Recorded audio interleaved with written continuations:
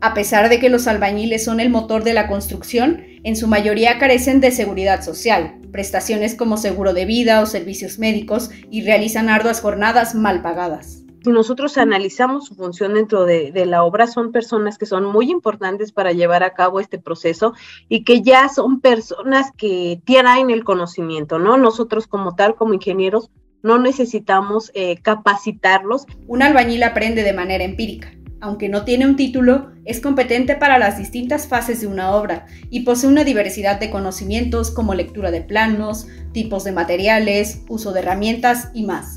De acuerdo con Data México, a finales de 2021, 1.6 millones de personas se dedicaron a este oficio. Por este trabajo, los hombres percibieron salarios promedio de 6 mil pesos mensuales, mientras que las mujeres cobraron 1.300 pesos por jornadas de aproximadamente 44 horas a la semana los albañiles se ven obligados a trabajar en condiciones de precarización debido a su situación económica, y al no haber regulación, las constructoras continúan vulnerando sus derechos, asegura la catedrática universitaria. Tal vez como sociedad nos hace falta más apreciar este tipo de trabajos.